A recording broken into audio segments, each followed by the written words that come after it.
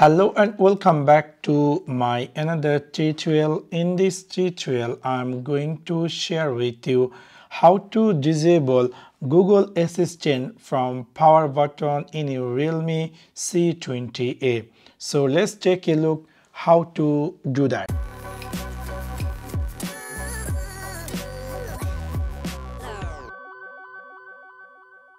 Maybe somehow in some cases if you try to uh, press the power button it's appear Google Assistant which is really very quite uh, annoying. You might be not big fan of this Google Assistant and you want to disable this Google Assistant from the power button.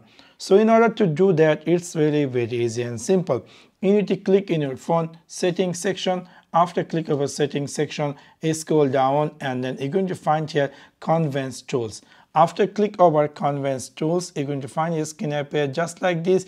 Here it's saying to uh, wake Google Assistant with power button.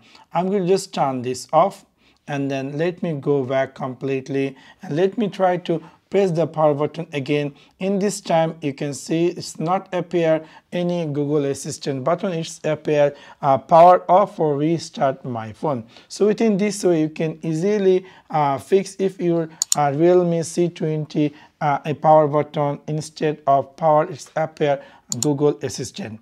So that's for now. Thanks for watching my video. See you next one. Peace